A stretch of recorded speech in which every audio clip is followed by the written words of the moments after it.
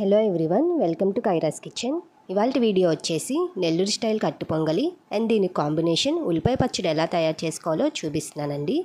నార్మల్గా చాలామంది దీనికి పల్లీ చట్నీ చేసుకుంటారండి కానీ అలా కాకుండా ఇలా ఉల్లిపాయ పచ్చడి ట్రై చేయండి టేస్ట్ చాలా బాగుంటుంది. ఇది తమిళనాడు సైడ్ బాగా ఫేమస్ అండి దీన్ని వెన్పొంగల్ అని కూడా అంటారు. ఇప్పుడు దీన్ని సింపుల్గా ఇంట్లో ఎలా తయారు చేసుకోవాలో చూసేద్దాం.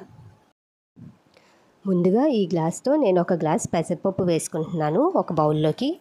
మనం ఏ గ్లాస్తో అయితే పెసరపప్పు వేసుకున్నామో అదే గ్లాస్తో ఒక గ్లాస్ బియ్యం వేసుకోవాలి.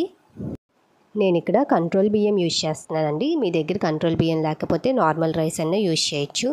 కానీ పొంగల్కి కంట్రోల్ బియ్యం మంచి టేస్ట్ వచ్చింది. ఇది శుభ్రంగా టూ త్రీ టైమ్స్ వాష్ చేసుకొని వాటర్ పోసుకొని ఒక అరగంట సేపు నానబెట్టుకోవాలి తర్వాత స్టవ్ వెలిగించుకొని ఒక కుక్కర్ పెట్టుకొని కొద్దిగా నెయ్యి యాడ్ చేసుకోవాలి. ఇలా నెయ్యి యాడ్ చేయడం వల్ల పొంగల్ మంచి టేస్ట్ వచ్చిద్దండి. ఇప్పుడు దీంట్లోకి ఒక గరిట ఆయిల్ కూడా యాడ్ చేసుకోవాలి. ఇది కొద్దిగా హీట్ అయ్యాక ఇప్పుడు దీంట్లో రెండు స్పూన్ల జీలకర్ర వేసుకోవాలి. తర్వాత రెండించుల అల్లం ముక్క కట్ చేసుకొని యాడ్ చేసుకోవాలి. ఇలా అల్లం జీలకర్ర వేసుకొని ఒక నిమిషం పాటు ఫ్రై చేసుకోవాలి. ఇది ఫ్రై అయ్యాక ఇప్పుడు దీంట్లోకి దంచి పెట్టుకున్న మిరియాలని వేసుకోవాలండి. నేను ఇక్కడ కొద్దిగా మిరియాలు దంచుకొని వేసుకుంటున్నాను. మనం మిరియాలు డైరెక్ట్గా కూడా వేసుకోవచ్చండి. కాకపోతే పిల్లలు తీసి పక్కన పెట్టేస్తారు. అందుకే ఇలా దంచుకొని వేసుకోండి. తర్వాత దీంట్లోకి నాలుగు పచ్చిమిర్చి సన్నగా చీల్చుకొని యాడ్ చేసుకోవాలి. ఇది ఒకసారి కలిపేసుకొని ఇప్పుడు దీంట్లో కొద్దిగా కరివేపాకు అర స్పూన్ పసుపు వేసుకొని ఒక రెండు నిమిషాల పాటు ఫ్రై చేసుకోవాలి. దీనికి పోపు మనం సెపరేట్గా పెట్టుకోక్కర్లేదండి. ఇలా డైరెక్ట్గా పెట్టేసుకోవచ్చు. ఇది ఇలా ఫ్రై అయ్యాక ఇప్పుడు దీంట్లోకి మనం నానబెట్టుకున్న బియ్యం పెసరపప్పు వేసుకొని మూడు నిమిషాల పాటు ఫ్రై చేసుకోవాలి. దీంట్లో రెండు స్పూన్ల సాల్ట్ యాడ్ చేసుకొని ఒక మూడు నిమిషాల పాటు బాగా ఫ్రై చేసుకోవాలండి. పచ్చివాసన పోయేంత వరకు. ఇలా బియ్యం పెసరపప్పు ఈ విధంగా ఫ్రై అయ్యాక ఇప్పుడు దీంట్లోకి నేను ఎనిమిది గ్లాసులు వాటర్ యాడ్ చేసుకుంటున్నాను. మనం ఏ గ్లాస్తో అయితే బియ్యం పెసరపప్పు యాడ్ చేసుకున్నామో అదే గ్లాస్తో ఎయిట్ గ్లాసెస్ వాటర్ యాడ్ చేసుకుంటున్నాను నేను ఇక్కడ. దీనికి కొలత ఒకటికి నాలుగు గ్లాసులు వాటర్ యాడ్ చేసుకోవాలండి. అంటే నేను ఇక్కడ ఒక గ్లాస్ బియ్యం ఒక గ్లాస్ పెసరపప్పు తీసుకున్నాను కాబట్టి రెండు గ్లాసులకి ఎనిమిది గ్లాసులు వాటర్ యాడ్ చేసుకున్నాను. ఇలా వాటర్ వేసుకొని ఒకసారి కలిపేసుకొని ఇక్కడ ఒకసారి వాటర్ టేస్ట్ చూడండి. సాల్ట్ సరిపోకపోతే కొద్దిగా సాల్ట్ యాడ్ చేసుకోవచ్చు. మనకి వాటర్ కొద్దిగా సాల్టీగా తగలాలండి అప్పుడే సాల్ట్ సరిపోయినట్టు. తర్వాత కుక్కర్ మూత పెట్టుకొని మీడియం ఫ్లేమ్లో పెట్టుకొని ఖచ్చితంగా మూడు విజిల్స్ వచ్చేంత వరకు ఉడికించుకోవాలి. ఇది విజిల్స్ వచ్చేలోపు దీని కాంబినేషన్ ఉల్లిపాయ పచ్చడి ఎలా తయారు చేసుకోవాలో చూద్దాం. ఈ పచ్చడికి కావాల్సిన పదార్థాలు చిన్న నిమ్మకాయ సైజ్ చింతపండు పది ఎండుమిర్చి రెండు మీడియం సైజ్ ఉల్లిపాయలు ఐదు వెల్లుల్లి కొద్దిగా జీలకర్ర. ముందుగా స్టవ్ వెలిగించుకొని ఒక ప్యాన్ పెట్టుకొని మూడు గరిట్లో ఆయిల్ యాడ్ చేసుకోవాలి. ఆయిల్ హీట్ అయ్యాక ఎండుమిర్చి యాడ్ చేసుకోవాలండి. నేను ఇక్కడ పది ఎండుమిర్చి ఈ విధంగా కట్ చేసుకొని యాడ్ చేసుకున్నాను. ఇవి ఒకసారి కలిపేసుకొని ఇప్పుడు దీంట్లోకి మనం కట్ చేసి పెట్టుకున్న రెండు మీడియం సైజ్ ఆనియన్స్ యాడ్ చేసుకోవాలి.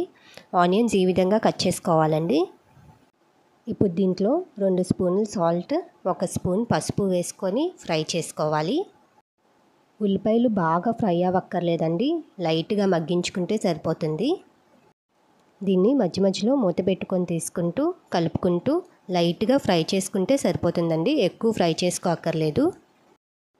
ఈ విధంగా ఫ్రై అయ్యాక మనం దించబోయే ముందు చింతపండు యాడ్ చేసుకోవాలండి. నేను ఇక్కడ చిన్న నిమ్మకాయ సైజ్ చింతపండు వాష్ చేసుకొని యాడ్ చేసుకున్నాను. ఇది చాలా సింపుల్గా అయిపోతుందండి. ఇది పొంగల్లోకే కాదు. రైస్లోకి దోశల్లోకి కూడా చాలా టేస్టీగా ఉంటుంది. ఇలా చింతపండు యాడ్ చేసుకొని ఒక నిమిషం పాటు ఫ్రై చేసుకొని స్టవ్ ఆఫ్ చేసేసుకోవాలండి. ఇది చల్లారాక ఒక మిక్సీ జార్లోకి ట్రాన్స్ఫర్ చేసుకోవాలి. ఇలా ట్రాన్స్ఫర్ చేసుకున్నాక ఇప్పుడు దీంట్లోకి ఒక స్పూన్ జీలకర్ర ఐదు వెల్లుల్లి వేసుకొని కోర్స్గా గ్రైండ్ చేసుకోవాలి. చూడండి ఈ విధంగా గ్రైండ్ చేసుకోవాలి. ఉల్లిపాయ పచ్చడి రెడీ అయిపోయినట్టే అండి. మనం సాల్ట్ ఆనియన్స్లో వేసుకున్నాం కాబట్టి ఇక్కడ యాడ్ చేయక్కర్లేదు. దీనికి పోపు కూడా అవసరం లేదండి. టేస్ట్ చాలా బాగుంటుంది. ఒక్కసారి ట్రై చేసి చూడండి. మీకు కూడా నచ్చుతుంది ఖచ్చితంగా.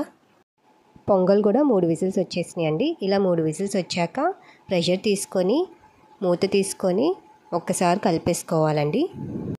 చూడండి ఈ విధంగా ఉడికితే పొంగల్ రెడీ అయిపోయినట్టే.